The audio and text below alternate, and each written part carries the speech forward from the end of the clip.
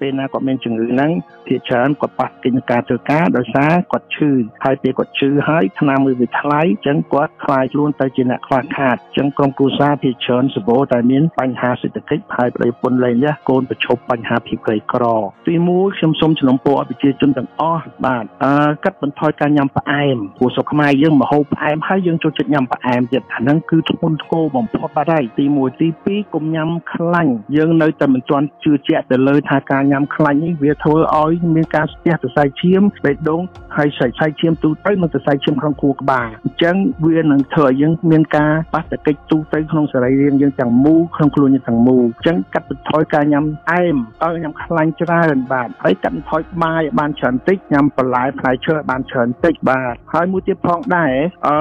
ខ្ញុំសំណូមពរថាកាត់បន្ថយប្រៃបាទ ជំងឺទឹកនោមផ្អែមទី1យើងត្រូវបែងចែកសិនវាមាន3ប្រភេទមួយប្រភេទទី1សម្រាប់កើតពីក្មេងវាជាពូជមួយទៀតប្រភេទទី2កើតឡើងដោយសារយើងការញ៉ាំចុកហើយនឹងថែទាំសុខភាពឲ្យបានល្អជំងឺទី3ទឹកនោមផ្អែមហ្នឹងគេហៅថា gestational diabetes ទឹកនោមផ្អែមពេលណាយើងមានកហើយយើងឡើងគីឡូអញ្ចឹងវាប៉ះទង្គិចនឹងដំណើរការ insulin របស់យើងអញ្ចឹងណាហើយមានកហើយទៅក៏វាចុះទៅវិញប៉ុន្តែបុគ្គលទី3ហ្នឹងមានអាការហានិភ័យនឹងកើតទឹកនោមផ្អែមទី2អញ្ចឹងណាបាទហើយការការកើតជំងឺផ្អែមនេះជាពិសេសអាទី2ហ្នឹងគេហៅ diabetes ប្រភេទទី2ហ្នឹងគឺច្រើននៅស្រុកខ្មែរហើយអាទី1ហ្នឹងក៏ច្រើនដែរនៅស្រុកខ្មែរនិយាយរួមទៅទាំង3ហ្នឹងគឺស្រុកខ្មែរច្រើនជាងគេហើយតាមខ្ញុំដឹងណាដោយសារការកតាញ៉ាំចុករបស់យើងគឺយើងអត់ញ៉ាំចុកដូចស្រុកគេទេយើងញ៉ាំសាច់ច្រើនបាយច្រើនហើយអត់មានញ៉ាំបន្លែផ្លែឈើទី1ណាអញ្ចឹងយើងបាត់អានឹង1ទី2យើងអត់ញ៉ាំទឹកដោះគោយើងបាត់នឹង2ហើយទី3យើងអត់ហាត់ប្រាណ បាត់អានឹង4ហើយបន្តមកទៀតយើងញ៉ាំសារ៉ាច្រើនណាបាទហើយអាហ្នឹងគឺទី5ហើយវប្បធម៌យើងញ៉ាំផ្អែមហ្នឹងហើយផ្អែមខ្លាំងអាហ្នឹងគឺទី6ទី7គឺអាស្រ័យដោយសារការញ៉ាំចុករបស់យើងគឺជាទូទៅប្រៃនៅស្រុកខ្មែរប្រៃដោយសារយើងញ៉ាំរបស់គុយទាវរាល់ព្រឹកហ្នឹងហត់ទាំងចានទាំងចានទឹកហ្នឹងសិតហត់ទឹកអំបិលហើយអញ្ចឹងឲ្យតែប្រៃផ្អែម ហើយញ៉ាំខ្លាញ់ច្រើនគឺធ្វើឲ្យគីឡូយើងឡើងហើយគីឡូឡើងឡើងវាប៉ះទង្គិចទៅដល់ការបញ្ចេញ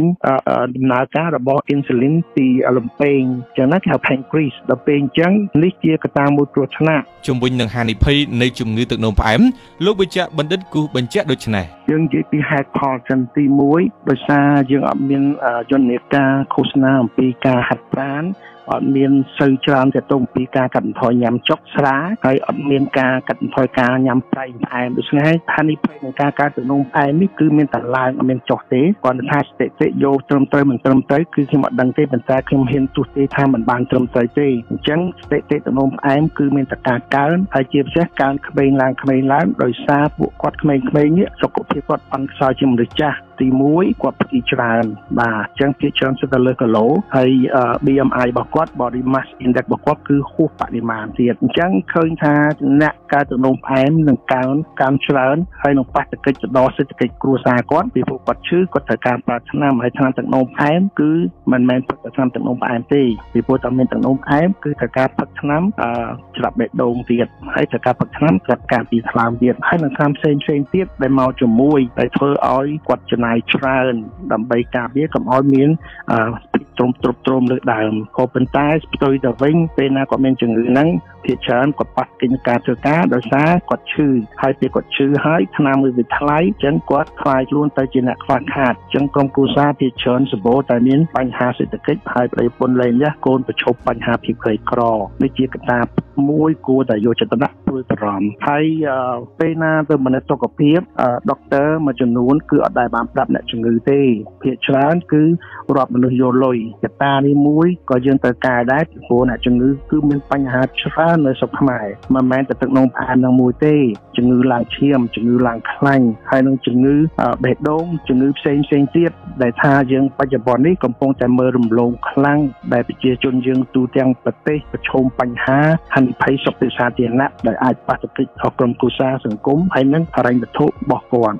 មិនខុសគ្នាពីលោកស្រីអាវ៉ាន់ឌិនទេលោកវិជ្ជបណ្ឌិតគួយមីលីក៏បានអំពាវនាវទៅដល់ប្រជាពលរដ្ឋកុំឲ្យពិសាអាហារមានរសជាតិផ្អែមពេកឬប្រៃពេកឬមានជាតិខ្លាញ់ច្រើនខ្លាំងពេកឡើយទើបអាចជៀសផុតពីជំងឺទឹកនោមផ្អែមជាពិសេសអ្នកជំនាញផ្នែកសុខភាពសាធារណៈរូបនេះបានស្នើដល់គ្រូពេទ្យជំនាញព្យាបាលទឹកនោមផ្អែមទាំងអស់ឲ្យគោរពនៅវិជ្ជាជីវៈក្នុងការព្យាបាលអ្នកជំងឺទឹកនោមផ្អែមដោយមិនត្រូវព្យាបាលអូសបន្លាយពេលឬចិញ្ចឹមជំងឺដើម្បីតែចង់បានប្រាក់ពីអ្នកជំងឺនោះទេបាទទី1ខ្ញុំសូមជំនុំពរឲ្យប្រជាជនទាំងអស់បាទអឺកាត់បន្ថយការញ៉ាំផ្អែមព្រោះស្រុកខ្មែរយើងមហូបផ្អែមហើយយើងចូលចិត្តញ៉ាំផ្អែមទៀតអាហ្នឹងគឺធ្ងន់ធ្ងរបំផុតបាទហើយទី1ទី2កុំញ៉ាំខ្លាញ់យើងនៅតែមិនទាន់ជឿជាក់ទៅលើថាការញ៉ាំខ្លាញ់នេះវាធ្វើឲ្យមានការស្ទះសរសៃឈាមបេះដូង ហើយសាច់ឆៃឈាមទូទៅនិងសរសៃឈាមក្នុងខួរក្បាលអញ្ចឹងវានឹងធ្វើឲ្យយើងមានការប៉ះទង្គិចទូទៅក្នុងសរីរាង្គយើងទាំងមូលក្នុងខ្លួនយើងទាំងមូលអញ្ចឹងកាត់បន្ថយការញ៉ាំអែមឲ្យញ៉ាំខ្លាញ់ច្រើនបាទហើយកាត់បន្ថយបាយឲ្យបានច្រើនតិចញ៉ាំបន្លែផ្លែឈើឲ្យបានច្រើនតិចបាទហើយមួយទៀតផងដែរអឺខ្ញុំសំណូមពរថាកាត់បន្ថយប្រៃបាទ កុំឲ្យញ៉ាំប្រៃពេកដូច្នេះខ្ញុំនិយាយថាប្រជាជនយើងញ៉ាំប្រៃទីមួយយើងញ៉ាំតែងៀតតែប្រឡាក់ប្រអកម៉ាំប្រហុកសិរបស់ប្រៃហើយទៅទៅហ្នឹងបន្ថែមពីលើនោះទៀតយើងញ៉ាំ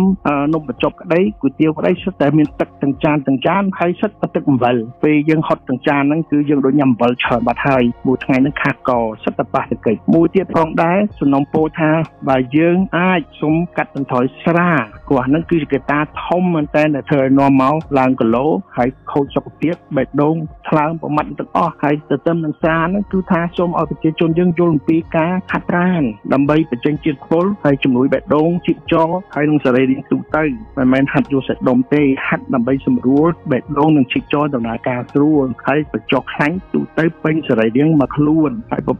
ប៉ុណ្្នឹងទៀតផងដែរសូមសំណុំពោថាឲ្យវិជ្ជបណ្ឌិតទាំងអស់ដែលធ្វើតែឈាមណាសូមមេត្តាមើលតែឈាមថ្លើមផងពីព្រោះរាល់ថ្ងៃឃើញដុកទ័រមួយចំនួនច្រើនដែលគាត់